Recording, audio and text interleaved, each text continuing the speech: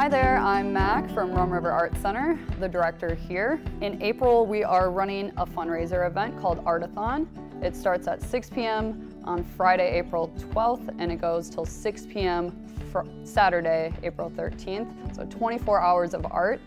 Our focus for our spring fundraiser is kind of revamping our upstairs gallery space. We need some new ceiling tiles, so some different donation options are sponsoring a tile where you actually get to put your own logo or design on a ceiling tile that will be uh, presented here in our gallery. You can also donate a larger amount, $1,000 that will you will sponsor a gallery show up here so your name or business will be tied to all of our promo promotion with that gallery show.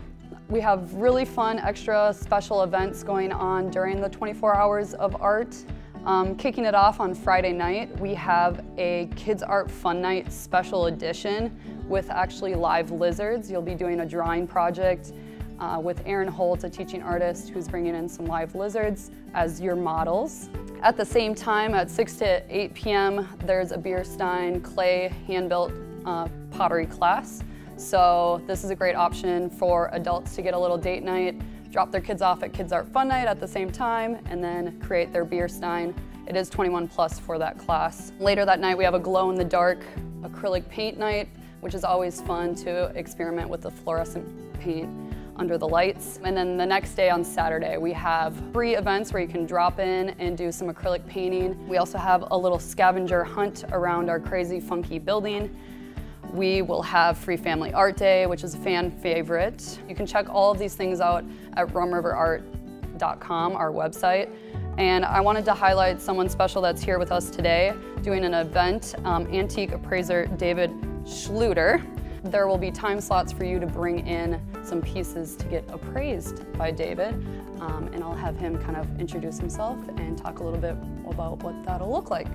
So I am really excited about the Rum River Art Center. This is uh, where, where people can express how they feel, uh, how they live, uh, what they believe, and they can put it in a medium that you can take home. Prices here are very reasonable, and uh, I, I just love the fact that I can just walk in here and, uh, and see the work that was made by local community uh, members. I do encourage people to come uh, April 13th. It's a Saturday.